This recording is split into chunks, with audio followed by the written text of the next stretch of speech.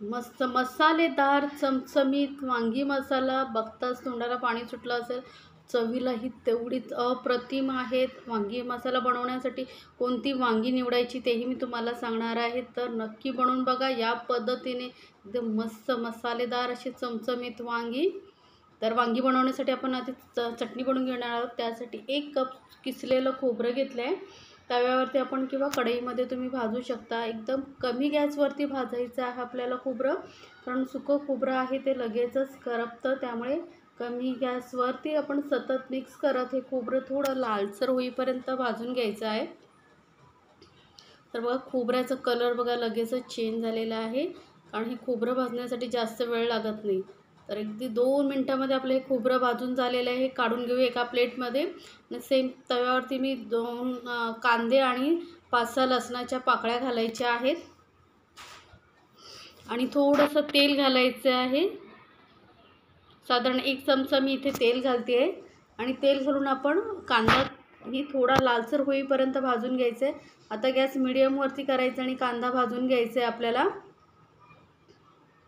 तर खूपच चविष्ट अप्रतिम लागतात ही वांगी. तर कांदाही आपला भाजून झालेला आहे बघा. मस्त लालसर झालेला आहे. आता कांदाही एका प्लेटमध्ये काढून घेते आणि कांदा आणि खोबरं थंड झाल्यावर आपण थोडंसं पाणी घालून मिक्सरमध्ये बारीक वाटून घेणार आहोत. आता वांगी मसाला बनवण्यासाठी इथे आपल्याला एकदम अशी छोटी काळी वांगी येतात ना ती घ्यायची आहेत. ती चवीलाही खूप छान असतात आणि शिजतात ही लवकर एकदम सॉफ्ट होतात.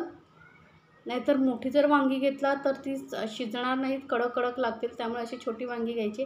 आणि याला मधून आपण चिरा देणार आहोत बघा. आणि बघायचं ओपन करून आतमध्ये कीड वगैरे असते त्यामुळे आपण ही पूर्ण असं वांगं उघडून बघायचं आहे आणि पूर्ण चीर नाही द्यायची अर्धवट असं ठेवायचं आहे बघा. उघडून पूर्णपणे बघितलं आणि देठही आपण ठेवलेला आहे. आणि लगेचच वांगं पाण्यात टाकायचं आहे कारण नाहीतर पाण्याच्या बाहेर ठेवलात तर वांगी काळी पडतील. तर वांगी आधी पहिली स्वच्छ धुवून घ्यायची आहेत आणि स्वच्छ पाणी नंतर घेऊन त्यामध्ये आपण ही वांगी ठेवलेली आहेत. वांगी आधी मी धुवून घेतलेली आहेत. तर अशीच वांगी सर्व मी कापून घेते. प्रत्येक वेळी पूर्ण वांगं असं उघडून बघायचं आहे तर वांगी आपली कापून झालेली आहेत.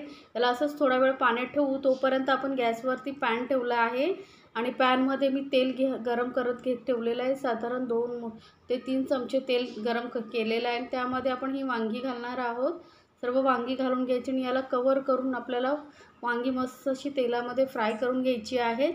त्याच्यावरती कवर करून झाकण ठेवा कारण वांग्याचं पाणी तेल वगैरे उडू शकतं अंगावरती. त्यामुळे वांगी आता एका साईडने हलकीशी फ्राय झाल्यानंतर आपण टर्न करून करून सर्व साईडने वांगी मस्तपैकी फ्राय करून घ्यायची. एकदम गॅसवर का मी एकदम लो टू मिडियमवरती ठेवला आहे.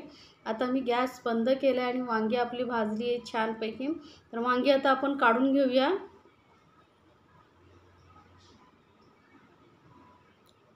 कारण ही छोटी वांगी आहेत लगेचच शिजतात मस्त सॉफ्ट होतात. तर आता वांगी मी एका प्लेटमध्ये काढून घेते. आणि आपली चटणीही वाटून झालेली आहे. तर आता आपण वांग्यांचा मसाला बनवायला सुरुवात करूया. तर आता जे उरलेलं तेल आहे त्याचाच वापर करायचा आहे. तर मी ते अर्धा चमचा राई घातलेली आहे. राई थोडी तडकली का अर्धा चमचा जिरं घालायचं आहे. आता जिरं आणि राई छान असं त तेलामध्ये त तडकेपर्यंत परतून घ्यायचे आहेत. आता थोडंसं घालूया. दोन पिंच एवढं हिंग. हिंगामुळे छान टेस्ट येते आणि एक हिरवी मिरची घातलेली आहे. साधारण एक मोठा चमचा आलं लसूण मी किसून घेतलेला आहे. पेस्ट ही घालू शकता. मी इथे बारीक किसून घेतलेलं आहे. आता हे आलं लसूण आपण तेलामध्ये परतून घेतलं. त्यानंतर जे कांदा खोबऱ्याची चटणी केली होती तीही घालून आपण मस्तपैकी परतून घ्यायचं आहे. याचा फ्लेम इथे एकदम लोवरती ठेवला आहे आणि लो फ्लेमवरती परतून घेतलं आहे अर्धा चमचा मी इथे जिरं पावडर घातलेला आहे. अर्धा चमचा धने पावडर घालायचं आपल्याला. आणि पाव चमचा हळद घालते मी. पाव चमचा हळद घातल्यानंतर आता यामध्ये आपल्याला लाल मिरची पावडर घालायची साधारण दीड चमचा मी इथे लाल मिरची पावडर घातलेली आहे. आता तिखट तुम्हाला किती हवं आहे त्यानुसार तुम्ही मसाल्याचं प्रमाण ठरवू शकता. तर इथे मी दीड चमचा मसाला घातलेला आहे.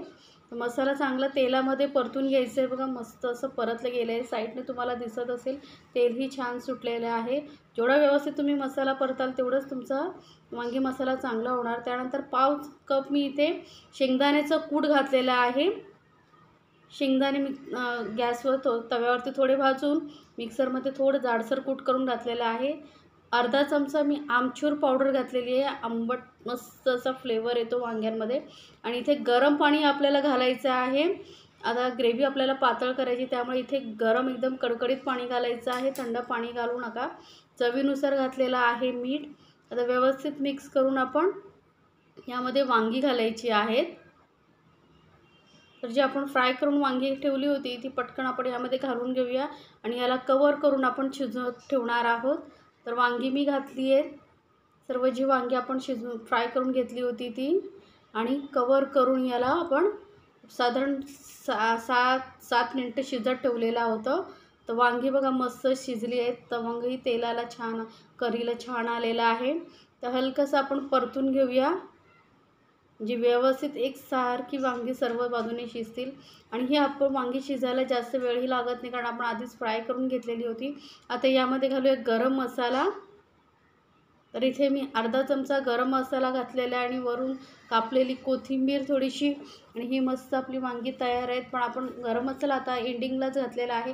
त्याचा फ्लेवर वांग्यामुळे मध्ये उतरण्यासाठी साधारण दोन मिनटं फक्त झाकून शिजवून घ्यायचं. आहे लक्षात ठेवा गरम मसाला वांगी पूर्णपणे तयार व्यवस्थित तयार शिजल्यानंतरच घालायचा आहे. म्हणजे तो गरम मसाल्याचा फ्लेवर असतो ना तो शेवटपर्यंत राहतो. त्यामुळे आता परत दोन मिनटं आपण फक्त शिजून घ्यायचं आहे. जास्त वेळ लागणार नाही. गॅसचं फ्लेम एकदम लोवरतीच ठेवलेला आहे. तर ही आपली दोन मिनटानंतर बघा वांगी मसाला आपला मस्त तयार झालेला आहे. बघताच तोंडाला पाणी सुटेल एवढेच चविष्ट लागतात. तर रेसिपी आवडत असेल तर पटकन चॅनलला लाईक्स कमेंट्स आणि सबस्क्राईब करायला विसरू नका. सोबतच बेल आयकनवरती क्लिक करा.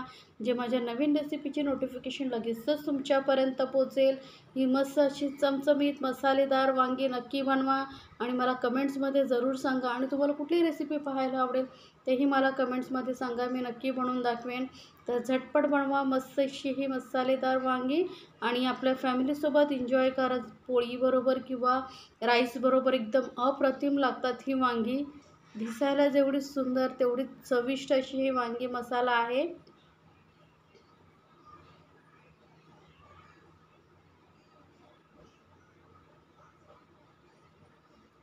Salud.